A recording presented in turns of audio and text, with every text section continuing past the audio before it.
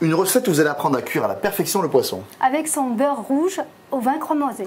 Et on accompagnera tout l'ensemble d'une belle purée. D'ailleurs, la purée, on a commencé. On a cuit des pommes de terre à chair farineuse dans de l'eau, du sel, et on a parfumé avec du thym, du laurier et une petite gousse d'ail. Donc ça, c'est en train de cuire.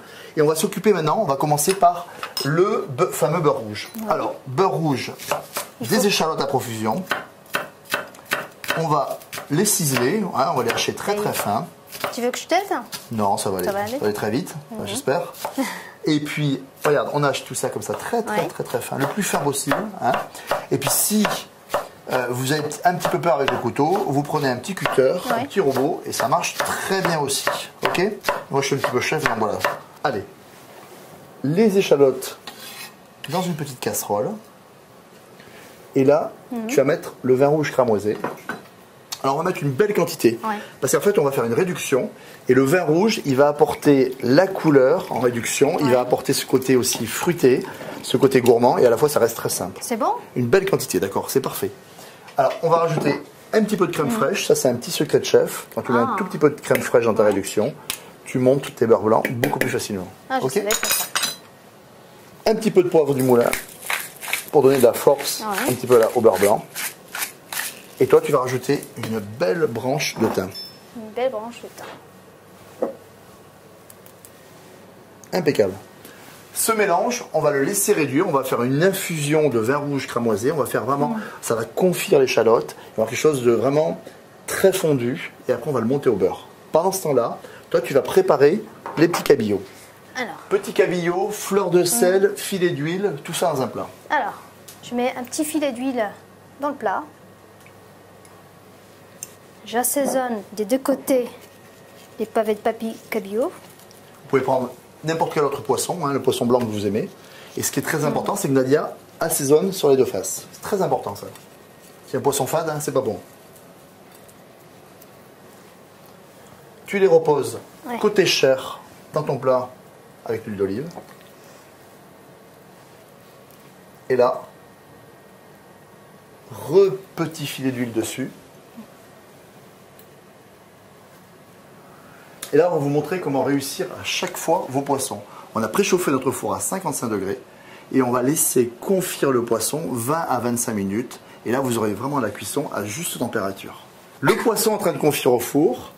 La sauce vin rouge cramoisée est pratiquement réduite à glace. Et là, maintenant, on va réaliser la purée qu'on a égouttée. Alors, on y va. On va l'écraser.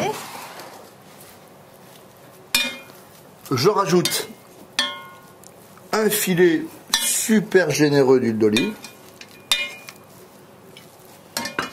Et hop, De lait en même temps. et je rajoute du lait chaud ou encore tiède.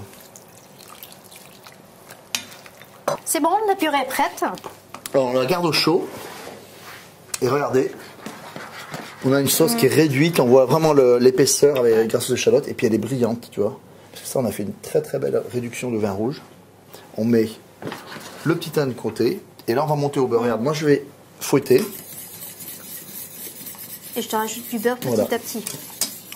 Et là, on va rajouter le beurre en parcelle. Et là, ce, geste s'appelle monter au beurre. C'est vraiment un grand, grand classique de la cuisine française. hein. Voilà, on monte au beurre la sauce. Et on va, on va faire un beurre rouge hyper onctueux. Alors le beurre, on l'incorpore voilà, progressivement, du beurre bien froid. Et surtout, surtout, on est en dehors du feu là, tu vois.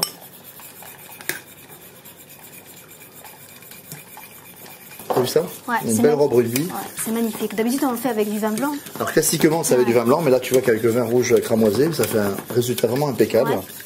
Et puis en- au niveau en bouche, ça va être vraiment euh, hyper gourmand. On n'oublie pas, bien évidemment, de saler parce qu'on n'a pas mis de sel.